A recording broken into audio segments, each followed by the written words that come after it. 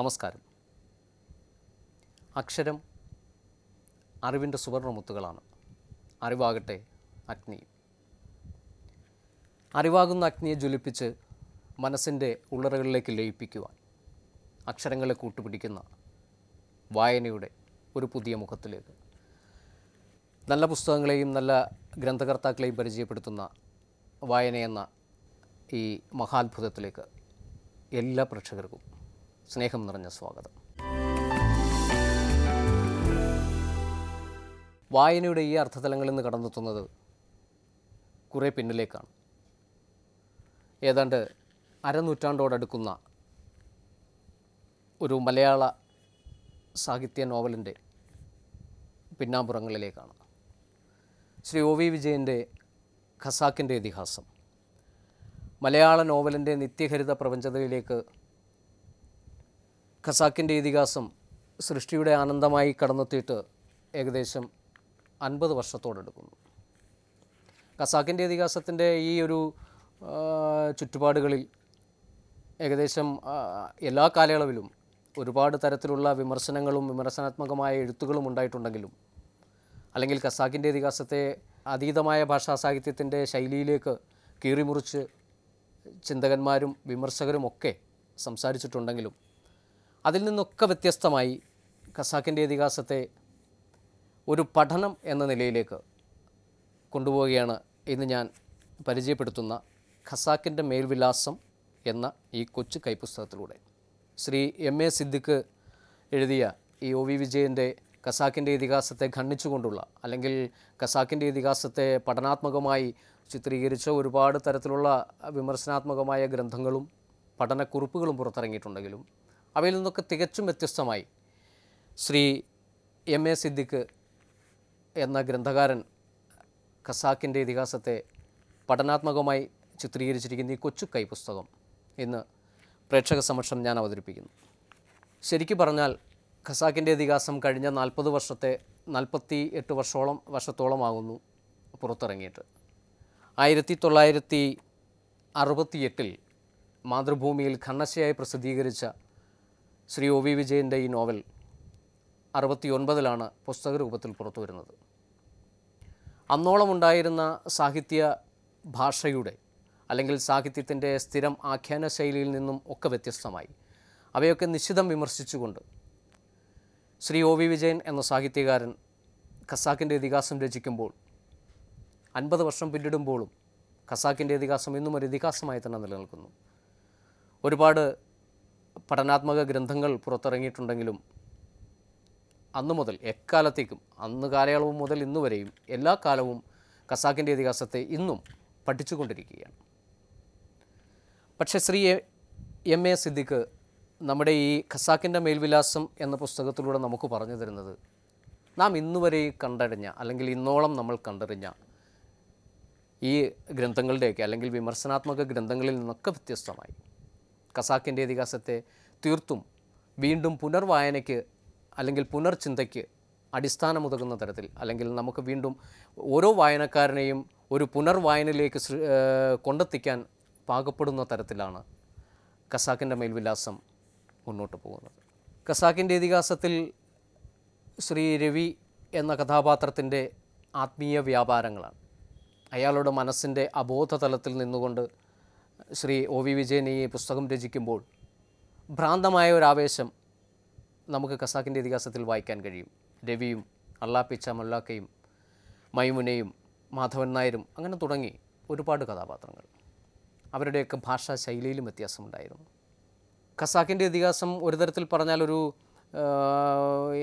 ഒരു കാലഘട്ടത്തിന്റെ ഒരു തനത് ഗോപുരം കണക്ക് അല്ലെങ്കിൽ സാഹിത്യ രംഗത്ത് അന്നോളം ഉണ്ടായിരുന്ന പുസ്തകങ്ങളിൽ നിന്നൊക്കെ വ്യത്യസ്തമായി തനതു ശൈലിയിൽ എഴുതപ്പെട്ട ഒരു പുസ്തകമായി വളരുമ്പോൾ അതിനുള്ളിൽ അതിന്റെ ഉള്ളറകളിലേക്ക് ഇറങ്ങി ചെല്ലുമ്പോൾ സാധാരണഗതിയിൽ പറഞ്ഞാൽ ഒരു പുസ്തകത്തെ സംബന്ധിച്ചിടത്തോളം അതിന്റെ സാഹിത്യ വശങ്ങളോ അല്ലെന്നുണ്ടെങ്കിൽ അതിന്റെ അതിൽ അടങ്ങിയിരിക്കുന്ന ഉള്ളടക്കത്തെക്കുറിച്ച് മാത്രമായിരിക്കും ചിന്തകൾ. പക്ഷേ ഇതിന് അതിനപ്പുറത്തേക്ക് അതിന്റെ ഭാഷയിലും അതിന്റെ ഉള്ളടക്കത്തിലും ഒരുപാട് വ്യത്യാസങ്ങളുണ്ടായിരുന്നു. ആ വ്യത്യാസങ്ങളെക്കുറിച്ച് പറഞ്ഞാൽ രവിയുടെ ചിന്തകളും കാഴ്ചപ്പാടുകളുമൊക്കെ ഒരു ഒരു തരത്തിൽ അല്ലെങ്കിൽ മറ്റൊരു തരത്തിൽ പറഞ്ഞാൽ ഭ്രാന്തമായ ഒരു ആവേശമായിരുന്നു. ആ ആവേശം ലൈംഗികതയിലേക്കും അയാളുടെ മാനസിക വ്യാപാരങ്ങളിലെ പല മിത്തുകളിലേക്കും മിത്തോളജിക്കൽ ശൈലിയിലേക്കാണ് പോകുന്നത്.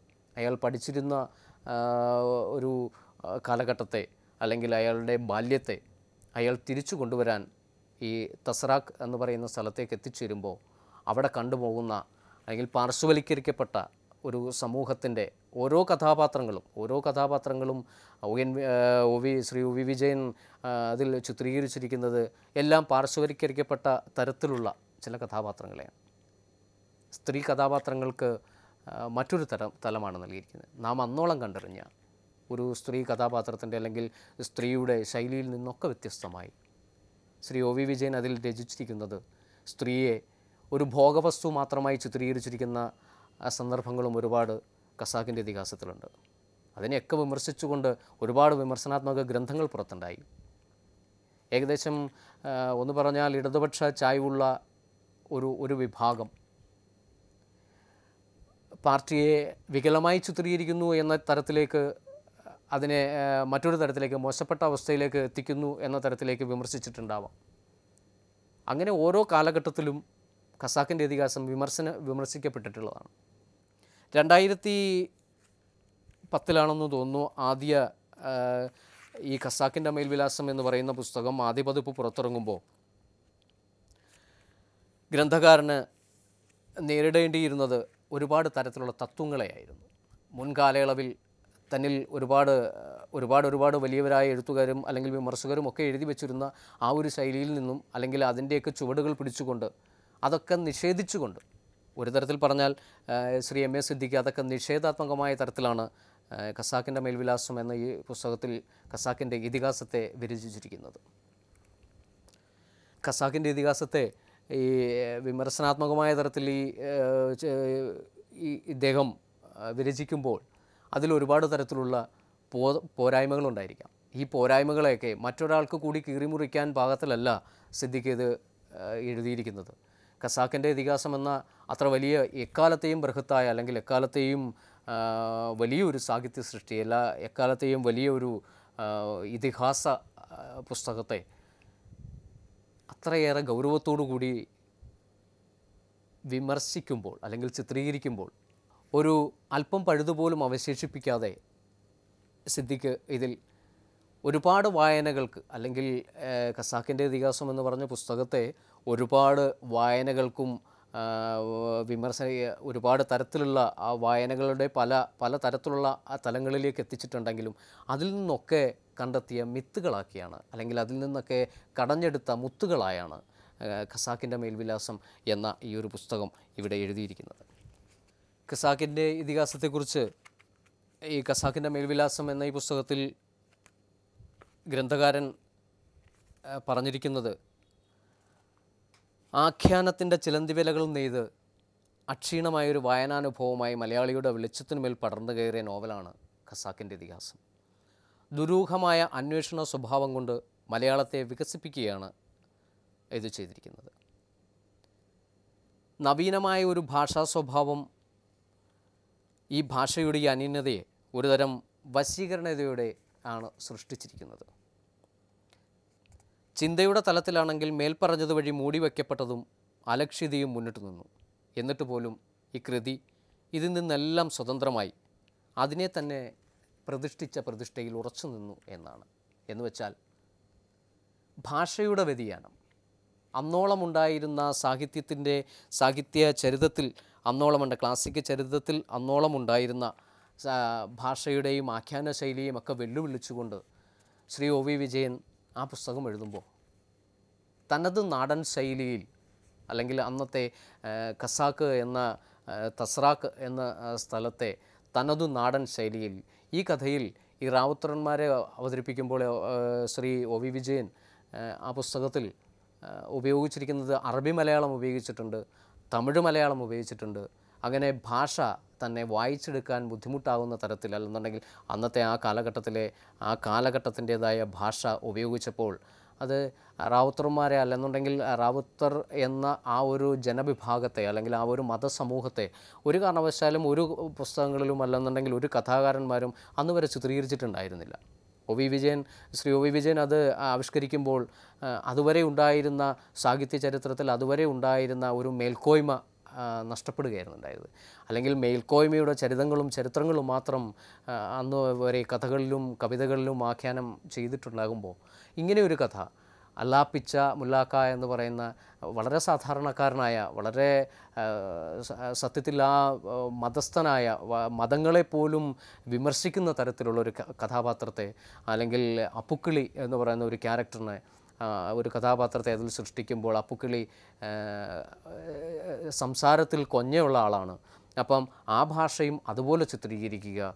പിന്നെ അങ്ങനെ നാടിന്റെ കാഴ്ചകളും വർണങ്ങളും എല്ലാം വളരെ ഒരു ഓരോ വായനക്കാരനും വളരെ ഹൃദയസ്പൃക്കായ തരത്തിൽ എത്തി എത്തിച്ചുകൊണ്ട് ഒ വി വിജയൻ അന്നു രചിച്ച ആ ചിത്രം. അതായത് ഏകദേശം നാൽപ്പത്തിയെട്ട് വർഷങ്ങൾ പിന്നിടുമ്പോഴും ഇന്നും ഖസാക്കിന്റെ ഇതിഹാസം ഇതിഹാസമായി നിലനിൽക്കണമെങ്കിൽ ഇതുപോലെയൊക്കെയുള്ള ഒരുപാട് വിമർശനങ്ങളും വിമർശനാത്മക ഗ്രന്ഥങ്ങളും ഒക്കെ പുറത്തിറങ്ങിയേ മതിയാവും.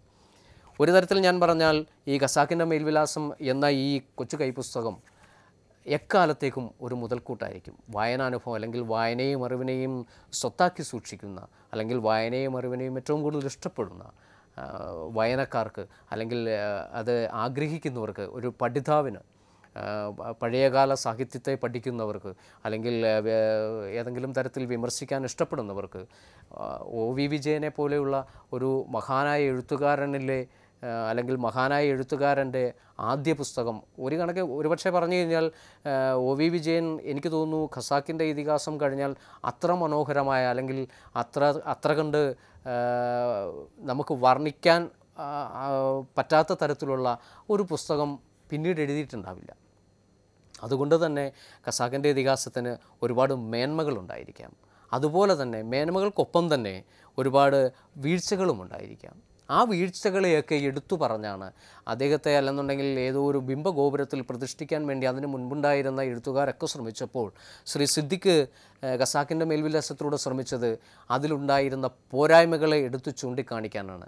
മറ്റൊരാൾക്ക് വിമർശിക്കാൻ ഒരു പഴുതുപോലും നൽകാത്ത തരത്തിൽ ശ്രീ എം എ സിദ്ദിഖ് എന്ന ഈ ഗ്രന്ഥകാരൻ ഇതിന്റെ പുനർവായനയിലൂടെ ഒരുപാട് ഒരുപാട് ഒരുപാട് വായനയിലൂടെ സ്വായത്തമാക്കിയെടുത്ത തന്റെ അറിവുകളെ നമുക്ക് പങ്കുവെക്കുന്നതാണ് ഖസാക്കിന്റെ മേൽവിലാസം എന്ന ഈ പുസ്തകം. ഖസാക്കിന്റെ മേൽവിലാസത്തിൽ ഗ്രന്ഥകാരൻ പറയുന്നത് രവിയുടെ സ്വപ്നാടനത്തിന്റെ ഭാഷയിൽ നിന്ന് വായിച്ചെടുക്കുമ്പോഴാണ് ഈ നോവലിന് കൂടുതൽ തികവ് കൂടുന്നത് എന്നാണ്.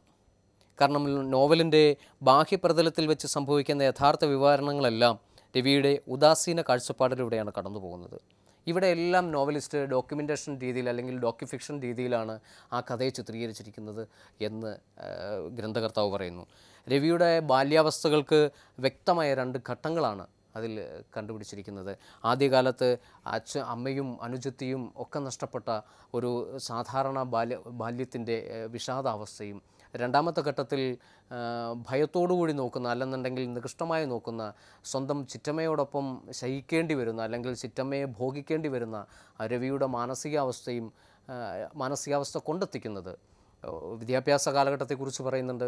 ആ നോവലിൽ പറയുന്നുണ്ട് വിദ്യാഭ്യാസ കാലഘട്ടത്തിൽ ഡിഗ്രിയുടെ അവസാന പരീക്ഷ പരീക്ഷയുടെ തലേ ദിവസം വണ്ടി കയറി എവിടേക്കോ അലന്നിരിഞ്ഞ് തർസ്രാക്കിലെത്തിച്ചിരുന്ന ഈ കസാക്കിലെത്തിച്ചേരുന്ന രവിയുടെ ചിത്രം കുമൻകാവിൽ ബസ്സിറങ്ങുമ്പോൾ ഭ്രാന്തമായ ആവേശത്തിലായിരുന്നു അയാൾ.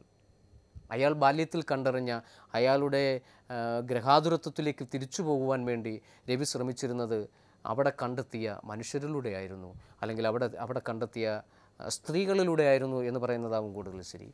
കാരണം അയാളുടെ മനസ്സിൽ അപ്പോഴും ഉണ്ടായിരുന്ന ഭോഗ അവസ്ഥ അല്ലെങ്കിൽ ഭോഗിക്കപ്പെടുക എന്നുള്ളത് ചെറിയ അവസ്ഥയിലേക്കായിരുന്നില്ല പോരുന്നത് കാലങ്ങൾ കഴിഞ്ഞെങ്കിലും തന്റെ അമ്മയെ ഉപേക്ഷിച്ച് ചിറ്റമ്മയെ വിവാഹം വിവാഹം കഴിക്കുന്ന തന്റെ അച്ഛനോടുള്ള വൈരാഗ്യബുദ്ധി ആയിരുന്നിരിക്കാം. അതല്ലെങ്കിൽ താൻ കണ്ടു മറന്ന തന്റെ ബാല്യത്തിൽ തനിക്ക് അനുഭവിക്കേണ്ടി വന്ന തന്നിൽ തന്റെ ചുറ്റമ്മ അതായത് തന്നിൽ മുതിർന്ന ഒരുപാട് വയസ്സിന് മുതിർന്ന തന്റെ ചിറ്റമ്മയിൽ നിന്നും അനുഭവിക്കേണ്ടി വരുന്ന ഒരു വിചിത്രമായ ഒരവസ്ഥ. വിചിത്രമായത് എന്ന് പറയുമ്പോൾ ചിറ്റമ്മയെ ഭോഗിക്കപ്പെടേണ്ട വരുന്ന ഒരവസ്ഥ. ഇതൊക്കെ മനസ്സിൽ തികട്ടി വരുമ്പോൾ രവിയുടെ ബാല്യത്തിന് ഒരു രണ്ടാം ഘട്ടം ഉണ്ടാകുകയാണ്. ആ രവിയുടെ ബാല്യത്തിന്റെ രണ്ടാം ഘട്ടം കൊണ്ടെത്തിക്കുന്നത് അയാളുടെ ഭ്രാന്തമായ ആവേശങ്ങളിലേക്കാണ്. തസ്രാക്കിന് അല്ലെങ്കിൽ ഖസാക്കിന് മഴ ഒരു ഭോഗത്തിന്റെ പൂർണതയാണ്. ഒരു സ്ത്രീയുടെ ഭോഗപൂർണതയിലേക്കാണ് മഴ പൊഴിഞ്ഞു വീഴുന്നത്. രവിയുടെ മനസ്സിലും അങ്ങനെ തന്നെയാണ്. ഏകദേശം ഖസാക്കിന്റെ ഇതിഹാസത്തിന്റെ അവസാന ഘട്ടത്തിൽ രവിയുടെ രവി ബസ് കാത്ത് കിടക്കുന്ന ഒരു കഥാപാത്രമായി അല്ലെങ്കിൽ ആ കഥയിൽ ബസ് കാത്ത് കിടക്കുന്ന ആ ഒരു സമയത്ത് ചിത്രീകരിച്ചിരിക്കുന്നത് രവിയുടെ മനസ്സിന്റെ താളബോധം അല്ലെങ്കിൽ താളം തെറ്റിയ ബോധമനസ്സിന്റെ അവസ്ഥയെ വളരെ മനോഹരമായി ചിത്രീകരിച്ചിരിക്കുന്ന ശ്രീ ഒ വി വിജയൻ. അദ്ദേഹം അത് പറയുന്നത് ഒരു പാമ്പ് ഇഴഞ്ഞു വന്നിട്ട് അതിന്റെ പത്തികൾ വിടർത്തി ഇണ പൊട്ടിയ നാക്കുകൾ വിടർത്തി കാലിൽ ആഞ്ഞു കൊത്തുമ്പോൾ രവിയുടെ മനസ്സിലുണ്ടാകാവുന്ന അവസ്ഥ രവിയുടെ മനസ്സിന്റെ അവസ്ഥ പല്ലു മുളച്ചു വരുന്ന ഉണ്ണിക്കുട്ടൻ കടിക്കുന്നു. അല്ലെന്നുണ്ടെങ്കിൽ പല്ലു മുളച്ചു വരുന്ന ഉണ്ണിക്കുട്ടന്റെ കുസൃതിയായി കാണുകയും മെല്ലെ ഉറക്കത്തിന്റെ അല്ലെങ്കിൽ ബോധ അബോധ മനസ്സിന്റെ മറ്റൊരു തലത്തിലേക്ക് രവിയെ കൂട്ടിക്കൊണ്ടുപോകുമ്പോഴും ഈ വായിക്കുന്ന വായനക്കാരനെ സംബന്ധിച്ചിടത്തോളം രവി ഒരു മരണത്തിലേക്കല്ല കാലൂന്നുന്നത്.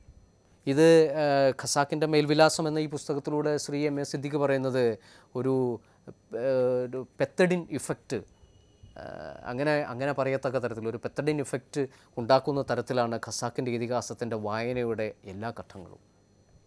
നാം വായിച്ചു തുടങ്ങിയാൽ അല്ലെങ്കിൽ നാം വായിച്ചു തുടങ്ങുന്ന അവസ്ഥയിൽ നിന്ന് വായിച്ച് വളരെ ലളിതമായി വായിച്ചു തുടങ്ങിയാൽ അവസാനം കൊണ്ടെത്തുമ്പോഴേക്കും പെത്തഡിൻ അല്ലെങ്കിൽ അതുപോലെയുള്ള മയക്കുമരുന്ന് ഉപയോഗിച്ച ഒരു മനുഷ്യന്റെ അവസ്ഥയിലേക്ക് മാറിപ്പോകുന്നു എന്നാണ് പറഞ്ഞത്. അതുകൊണ്ട് തന്നെയാവണം ശ്രീ ഒ വി വിജയന്റെ ഖസാക്കിന്റെ ഇതിഹാസം അന്നും ഇന്നും ഇനിയെന്നും ഒരു വലിയ ബിംബമായി തന്നെ അവശേഷിക്കുന്നത്. ഇതിന്റെ നെഗറ്റീവിസങ്ങളെല്ലാം അല്ലെങ്കിൽ ഇതിന്റെ ഒരു ഈ പാർശ്വവൽക്കരിക്കപ്പെട്ട ഒരു സമൂഹത്തിന്റെ അവസ്ഥയെ പറഞ്ഞ അല്ലെങ്കിൽ ആ ഒരു പാർശ്വവൽക്കരിക്കപ്പെട്ടു എന്ന് തോന്നത്തക്ക തരത്തിലൊരു രാഷ്ട്രീയ പരിച്ഛേദം ഉണ്ടാക്കിയ ഈ പുസ്തകത്തെക്കുറിച്ച് പുസ്തകത്തിന്റെ നെഗറ്റീവിസങ്ങളാണ്. അല്ലെന്നുണ്ടെങ്കിൽ ഇതിന്റെ നന്മ തിന്മകളുടെ തിരിച്ചറിവുകൾ വളരെ വ്യക്തമായി ഇന്നോളം ഇറങ്ങിയിട്ടുള്ള അല്ലെങ്കിൽ ഖസാക്കിന്റെ ഇതിഹാസത്തെക്കുറിച്ച് ഇന്നോളം ഇറങ്ങിയിട്ടുള്ള ഏതൊരു പുസ്തകം എടുത്തു നോക്കിയാലും എത്ര വലിയ വലിയ എഴുത്തുകാർ എഴുതിയിട്ടുണ്ട് വിമർശകർ എഴുതിയിട്ടുണ്ട് അതൊക്കെ എടുത്തു നോക്കിയാലും അതിലൊക്കെ ഉപരിയായി. ഖസാക്കിന്റെ മേൽവിലാസം നല്ലൊരു പഠന ഗ്രന്ഥമായി അല്ലെന്നുണ്ടെങ്കിൽ നമുക്ക് മനസ്സിലാക്കി തരുന്ന വളരെ വ്യക്തമായി മനസ്സിലാക്കി തരുന്ന ഒരു ഒരു പഠന ഗ്രന്ഥമായിരിക്കും ഖസാക്കിന്റെ മേൽവിലാസം എന്ന ഈ പുസ്തകം. ഖസാക്കിന്റെ ഇതിഹാസത്തിൽ രവിയുടെ സ്വപ്നാടനത്തെക്കുറിച്ച് പറഞ്ഞു അതിന്റെ അർത്ഥതലങ്ങളെക്കുറിച്ച് പറയുന്നു. ഒ വി വിജയനെ പോലെയുള്ള ഒരു മനുഷ്യനെ മനുഷ്യന്റെ മനസ്സിൽ ഉണ്ടായിരുന്ന അപ്പോഴത്തെ ഒരവസ്ഥ ആ സങ്കല്പാവസ്ഥ അതിനെ വളരെ നിശ്ചിതമായി വിമർശിക്കുന്നുണ്ട്. അത് ഓരോ പ്രേക്ഷകനും അല്ലെങ്കിൽ ഓരോ പഠിതാവിനും ഖസാക്കിനെ പഠിക്കുന്ന ഓരോ പഠിതാവിനും എത്രത്തോളം ഖസാക്കിനെ എത്രത്തോളം അല്ലെങ്കിൽ ഇതിഹാസത്തെ എത്രത്തോളം വിമർശിക്കാമോ അത്രത്തോളം വിമർശിക്കാവുന്ന തരത്തിൽ നാം നമുക്ക് സ്വന്തമായി നമുക്ക് പഠിച്ച് ഞാൻ മുമ്പ് പറഞ്ഞതുപോലെ ഒരുപാട് വായനകളിലൂടെ സ്വായത്തമാക്കിയെടുക്കാൻ പറ്റുന്ന അല്ലെങ്കിൽ ഒരുപാട് വായനകൾ കൊണ്ട് മാത്രം സ്വായത്തമാക്കിയെടുക്കാൻ പറ്റുന്ന ഒരു കഥാവശിഷ്ടത്തെ അല്ലെങ്കിൽ അതിന്റെ പരിചയ ഒരു ഒരു കഥയുടെ പൂർണമായ അതിന്റെ പൂർണമായ വശത്തെ അത് മൊത്തമായി നമുക്ക് പറഞ്ഞു തരുന്നുണ്ട്. ഗ്രന്ഥകാരൻ ഈ കൊച്ചു കൈപുസ്തകത്തിലൂടെ.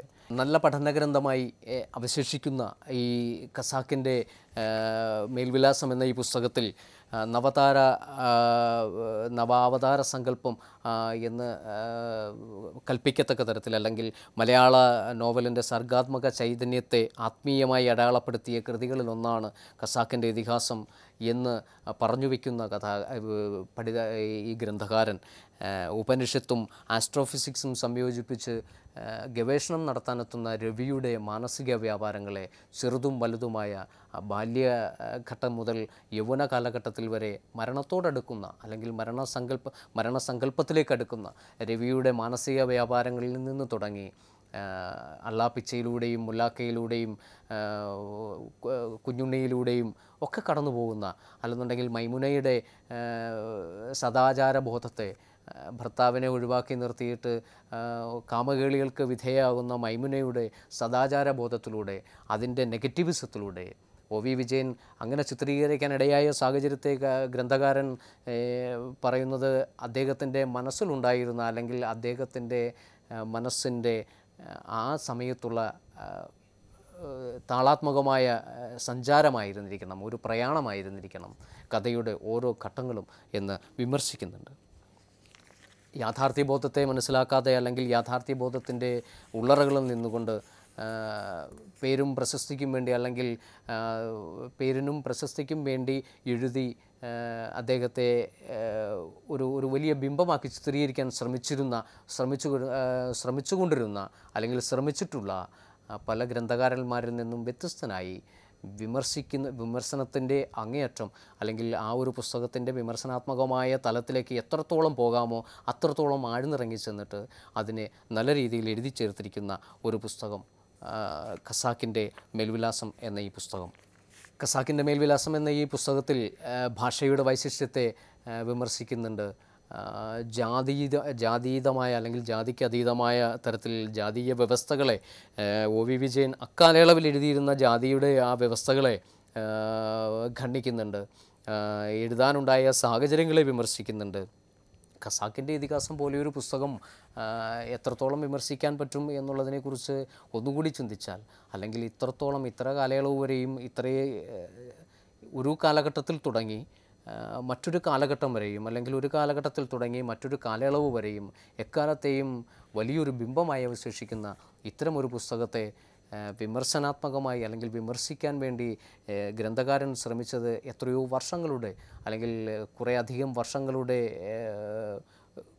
പേർത്ത് പേർത്തുള്ള വായനകളിലൂടെ ആയിരുന്നിരിക്കണം അത് അദ്ദേഹം ഇതിൽ തന്നെ സൂചിപ്പിക്കുന്നുണ്ട്. പഠിച്ചു തുടങ്ങിയിരുന്ന കാലയളവിൽ പഠിച്ചു തുടങ്ങിയിരുന്ന കാലയളവിൽ തുടങ്ങിയ എഴുത്ത്. ഇദ്ദേഹം ഇതിന്റെ മുഖപ്രസംഗത്തിൽ പറയുന്നത് നമുക്കൊന്ന് ശ്രദ്ധിക്കാം. ഗ്രന്ഥകാരൻ ഈ പുസ്തകത്തെക്കുറിച്ച് ആമുഖപ്രസംഗമായി എങ്ങനെ സൂചിപ്പിക്കുന്നു. പുസ്തകത്തിന്റെ രൂപഘടനയെക്കുറിച്ചാണെങ്കിൽ ഇതിന്റെ ഏകദേശ വിവരങ്ങളൊക്കെ എം എ പഠനകാലത്തെ പൂർത്തിയാക്കിയതാണ്. അതെല്ലാം ചേർത്തു തയ്യാറാക്കിയ ഒരു ഡിസർട്ടേഷൻ പരീക്ഷയ്ക്ക് വേണ്ടി തട്ടിക്കൂട്ടിയത് Shri B V Sreekumar sir ചെയ്തത് ഗൗരവത്തോടെ അതിനെ തള്ളിക്കളയുകയാണ്. കാരണം ഭാഷയുടെ ക്ലിഷ്ടതയും കൃത്രിമമത്വമായിരുന്നു കുറ്റങ്ങൾ. അദ്ദേഹം എഴുതിയ ഭാഷയുടെ വ്യക്തതയില്ലായ്മ അല്ലെങ്കിൽ അതിലെ കുറ്റപ്പെടുത്തലുകൾ കൊണ്ട് അതിനെ ഒഴിവാക്കിയിരുന്നു. യൂണിവേഴ്സിറ്റി കോളേജിലെ പഠനകാലം മുതൽ കഴിഞ്ഞ ആറു വർഷം ആ പഠന കാലയളവിലുണ്ടായ ആറു വർഷം ഖസാക്കിന്റെ ഇതിഹാരത്തെ ഇതിഹാസം എന്ന ഈ പുസ്തകത്തെ പുരസ്കരിച്ച് മനസ്സിലുണ്ടായിരുന്ന കാര്യങ്ങൾ വളരെ മാത്തമാറ്റിക്സിന്റെ സങ്കീർണമായ സൂത്രവാക്യ ബന്ധനങ്ങൾക്കിടയിലും കർക്കശമായ ട്യൂഷൻ ദിനങ്ങൾക്കിടയിലുമൊക്കെ ഖസാക്കിന്റെ ഇതിഹാസം വീണ്ടും വീണ്ടും പുനർവായനയ്ക്ക് അവസ്ഥകളുണ്ടാക്കുകയും അതിനെക്കുറിച്ച് പഠനങ്ങൾ നടത്തുകയും കോളേജ് കാലഘട്ടത്തിൽ തന്നെ ഇതിന്റെ ഖസാക്കിന്റെ ഇതിഹാസത്തിലെ സ്ത്രീ ചിന്തകളെക്കുറിച്ച് അല്ലെങ്കിൽ സ്ത്രീയുടെ വ്യക്തിത്വത്തെ മലീമസമായ തരത്തിൽ അടയാളപ്പെടുത്തി എന്ന ഒരു വേദിയിൽ അദ്ദേഹം സംസാരിക്കുകയും ഒ വി വിജയന്റെ ആരാധകരായിരുന്ന അല്ലെന്നുണ്ടെങ്കിൽ അദ്ദേഹത്തിന്റെ പുസ്തകങ്ങളുടെ ആരാധകരായിരുന്ന ഒരു കൂട്ടം ചെറുപ്പക്കാർ ആക്രമിക്കുകയും ഉണ്ടായി എന്ന് ഗ്രന്ഥകർത്താവ് ഇതിൽ പറയുന്നുണ്ട്. അതുപോലെ തന്നെ നമുക്കും ഈ വായ ഒരു വായനക്കാരനെന്നുള്ള നിലയിൽ അല്ലെങ്കിൽ ഒരു ഒ വി വിജയന്റെ പുസ്തകങ്ങളെ വായിച്ചിട്ടുള്ള അല്ലെങ്കിൽ ഒ വി വിജയനെ അടുത്തറിഞ്ഞിട്ടുള്ള ഒ വി വിജയന്റെ ഭാഷകളിലൂടെ അല്ലെങ്കിൽ അദ്ദേഹത്തിന്റെ വർണങ്ങളിലൂടെ അടുത്തറിഞ്ഞിട്ടുള്ള ഒരു വായനക്കാരൻ എന്നുള്ള നിലയിൽ നാം സമീപിച്ചാലും എം എ സിദ്ദിഖിന്റെ ഖസാക്കിന്റെ മേൽവിലാസം എന്ന് പറയുന്ന ഈ പുസ്തകം നാം വായിച്ചാലും ശ്രീ ഒ വി വിജയനോടുള്ള ബഹുമാനമോ അല്ലെങ്കിൽ ഒ വി വിജയന്റെ കഥകളോടുള്ള ഇഷ്ടമോ ഒക്കെ ഖസാക്കിന്റെ ഇതിഹാസം ഒരു തവണ കൂടി വായിക്കാൻ ഇടയാക്കുന്ന സാഹചര്യം ഉണ്ടാക്കുന്ന തരത്തിലാണ് അദ്ദേഹം വളരെ ഭാഷ നല്ല ഭാഷയിൽ അല്ലെങ്കിൽ ശുദ്ധമായ ഭാഷയിൽ ക്രിയാത്മകമായി അവതരിപ്പിച്ചിരിക്കുന്നത്. ഈ കൈപ്പുസ്തകം വായിക്കുന്ന ഓരോ വ്യക്തിയെ സംബന്ധിച്ചിടത്തോളവും ഒരിക്കൽ കൂടി ഒ വി വിജയനെ അടുത്തറിയണമെന്ന് തോന്നിപ്പോവും അല്ലെങ്കിൽ ഒ വി വിജയന്റെ കഥകളെ ഖസാക്കിന്റെ ഇതിഹാസത്തിൽ ഉപരിയായി മറ്റേതൊക്കെയോ കഥകളെ മറ്റൊരുപാട് കഥകളെ ഗുരുസാഗരത്തെ ഒക്കെ അടുത്തറിയാൻ വേണ്ടിയിട്ട് ഒരിക്കൽ കൂടി ഒ വി വിജയനിലേക്ക് തിരിച്ചു പോകും. ഒ വി വിജയൻ എന്ന എഴുത്തുകാരനെ എഴുത്തുകാരന്റെ കഥകളെ അല്ലെങ്കിൽ ഭാഷയെ വൈശിഷ്ട്യത്തെ നെഗറ്റീവായും പോസിറ്റീവായും ചിത്രീകരിച്ചിട്ടുണ്ടെങ്കിലും എനിക്ക് തോന്നുന്നു ഏകദേശം ഒരു തൊണ്ണൂറ് ശതമാനത്തോളവും ഇതിൽ ഖസാക്കിന്റെ ഇതിഹാസത്തെ നെഗറ്റീവായിട്ടാണ് ചിന്തിച്ചിരിക്കുന്നത്. ഖസാക്കിന്റെ ഇതിഹാസം എന്ന നോവൽ എഴുതാനിടയായ സാഹചര്യങ്ങളെ വിമർശിച്ചിട്ടുണ്ട്. കസാക്കിന്റെ ഇതിഹാസത്തിന്റെ ഭാഷയെ വിമർശിച്ചിട്ടുണ്ട്. കസാക്കിന്റെ ഇതിഹാസത്തിലെ കഥാപാത്രങ്ങളെ വിമർശിച്ചിട്ടുണ്ട്. കസാക്കിന്റെ ഇതിഹാസത്തിലെ സ്ത്രീ കഥാപാത്രങ്ങളിൽ ഒട്ടുമിക്കവാറും അല്ലെങ്കിൽ തൊണ്ണൂറ് ശതമാനവും വ്യഭിചാരിണികളായിരുന്നു എന്ന് തോന്നിപ്പോവുക. കഥയിൽ അത്രത്തോളം ഇത്തരത്തിലല്ലെങ്കിൽ ഭാഷയുടെ കാര്യത്തിൽ ഭാഷയുടെ വ്യതിയാ വ്യതിയാനത്തിന്റെ കാര്യത്തിൽ വളരെ പച്ചയായി ചിത്രീകരിച്ചിരിക്കുന്ന ശ്രീ ഒ വി വിജയനെ വളരെ പച്ചയായി തന്നെ വിമർശിച്ചിട്ടുമുണ്ട് ഗ്രന്ഥകാരൻ ഈ ഖസാക്കിന്റെ മേൽവിലാസം എന്ന ഈ പുസ്തകത്തിൽ. ഖസാക്കിന്റെ മേൽവിലാസം പോലെ ഒരു പുസ്തകം ഒരിക്കൽ കൂടി വായനയ്ക്ക് വേണ്ടി പ്രാപ്തമാക്കുന്ന തരത്തിൽ അല്ലെന്നുണ്ടെങ്കിൽ അത്ര വലിയൊരു ഗ്രന്ഥകാരന്റെ അത്ര വലിയൊരു പുസ്തകത്തെ നല്ല രീതിയിൽ പ്രാപ്തമാകും ഒരിക്കൽ കൂടി വായനയ്ക്ക് പ്രാപ്തമാക്കുന്ന തരത്തിലേക്ക് ഓരോ വായനക്കാരനെയും എത്തിക്കുന്ന തരത്തിലുള്ള എന്തൊക്കെയോ അമൂല്യമായ സമ്പത്തുകൾ അടങ്ങിയിട്ടുള്ളതാണ് ഖസാക്കിന്റെ മേൽവിലാസം എന്ന് പറയുന്ന അല്ലെങ്കിൽ എന്ന് ചിത്രീകരിച്ചിരിക്കുന്ന ഈ കൊച്ചു കൈപുസ്തകം. വിമർശന കലയുടെ പ്രവചന സത്യങ്ങളും സുഖമര്യാദകളും ഒക്കെ ഉൾപ്പെടുത്തിക്കൊണ്ട് ശ്രീ ഒ വി വിജയൻ ഈ പുസ്തകം എഴുതുമ്പോൾ എഴുതുന്ന കാലയളവ് അൻപത് വർഷം പിന്നിലേക്ക് സഞ്ചരിച്ചാൽ അന്നത്തെ ആ കാലഘട്ടത്തിലുണ്ടായിരുന്ന അല്ലെങ്കിൽ അന്നത്തെ സാഹചര്യങ്ങളും അന്നത്തെ നാട്ടുഭാഷകളും ഒക്കെ ഇന്നത്തെ കാലയളവിൽ ഇന്നത്തെ നൂതന സമ്പ്രദായത്തിൽ നിന്നുകൊണ്ട് അല്ലെങ്കിൽ നൂതന കാലഘട്ടത്തിൽ നിന്നുകൊണ്ട് കീറിപ്പൊളിക്കുമ്പോൾ ഒരിക്കൽ കൂടി ചിന്തനീയമായ തരത്തിലേക്ക് ആ ഭാഷയെ അല്ലെങ്കിൽ ആ കഥയുടെ മിത്തിനെ കീറിപ്പൊളിക്കുമ്പോൾ ഒരിക്കൽ കൂടി ശ്രീ എം എസ് സിദ്ദിഖിനെ മനസ്സുകൊണ്ട് നാം ആരാധിച്ചു പോകുന്ന തരത്തിൽ അല്ലെന്നുണ്ടെങ്കിൽ അങ്ങനെ കീറിപ്പൊളിക്കാനിടയായ ഒരു സാഹചര്യത്തിൽ അത്ര വലിയൊരു മഹാനായ ഒരു എഴുത്തുകാരന്റെ പുസ്തകത്തെ കീറിപ്പൊളിക്കുമ്പോൾ ഒന്നിനും യാതൊരു തരത്തിലും പഴുതുകൾ നൽകാതെ അല്ലെങ്കിൽ അതേക്കുറിച്ച് പറഞ്ഞു വെച്ചിരിക്കുന്ന എഴുതി വെച്ചിരിക്കുന്ന ചിത്രീകരിക്കപ്പെട്ടിരിക്കുന്ന ഒരുപാട് കഥകളും കവിത വിമർശനാത്മക ഗ്രന്ഥങ്ങളും പഠന പഠനഗ്രന്ഥങ്ങളും ഒക്കെയുണ്ട്. അപ്പോൾ അതിൽ നിന്ന് അതിനെയൊക്കെ നിശ്ചിതം വിമർശിച്ചുകൊണ്ട് അല്ലെങ്കിൽ അതിൽ നിന്നുമൊക്കെ ചില സമ്പത്തുക്കൾ കടമെടുത്തുകൊണ്ട് ആവണം അദ്ദേഹം ഇത് എഴുതിയിരിക്കുന്നത്. ഇനി ഒരു പുസ്തകം അല്ലെങ്കിൽ ഇനി ഒരു വിമർശന ഗ്രന്ഥം ഇനി ഒരു പഠന ഗ്രന്ഥം ആ, പുസ്തകത്തെക്കുറിച്ച് ഖസാക്കിന്റെ ഇതിഹാസം എന്ന് പറഞ്ഞ ആ മഹത് ഗ്രന്ഥത്തെക്കുറിച്ച് ഉണ്ടാകാതിരിക്കാൻ അല്ലെങ്കിൽ ഉണ്ടാകത്തില്ല എന്ന് നമുക്ക് ബോധ്യപ്പെടുത്തി തരുന്ന തരും വണ്ണമാണ് ശ്രീ എം എസ് സിദ്ദിഖ് ഈ പുസ്തകം എഴുതിയിരിക്കുന്നത്. അങ്ങനെ ഖസാക്കിന്റെ മേൽവിലാസം എന്ന് പറയുന്ന ഈ പുസ്തകം സർവോപരി ഖസാക്കിന്റെ മേൽവിലാസം എന്ന പുസ്തകം വായിക്കാനിടയായാൽ തീർച്ചയായും ഖസാക്കിന്റെ ഇതിഹാസം എന്ന് പറഞ്ഞ ഇതിഹാസ ചരിത്രവും വായിച്ചിരിക്കേണ്ടത് അനിവാര്യതയാണെന്ന് തോന്നപ്പെടുത്തക്ക തരത്തിൽ അല്ലെങ്കിൽ തോന്നിപ്പിക്കുന്ന തരത്തിൽ ഈ ഖസാക്കിന്റെ മേൽവിലാസം എന്ന കൈപ്പുസ്തകം കൈപ്പുസ്തകത്തിന്റെ അറിവുകളെ തുച്ഛമായ അറിവുകളെ പങ്കുവച്ചതിന് പങ്കുവച്ചുകൊണ്ട് വായനയുടെ ഈ ഒരു ലക്കം ഇവിടെ അവസാനിക്കുന്നു. വീണ്ടും പുതിയ അറിവുകളും പഠന ഗ്രന്ഥങ്ങളും പഠനങ്ങളുമായി എത്താമെന്ന ശുഭപ്രതീക്ഷയുടെ ഇന്നേക്ക് വിട. നന്ദി. നമസ്കാരം.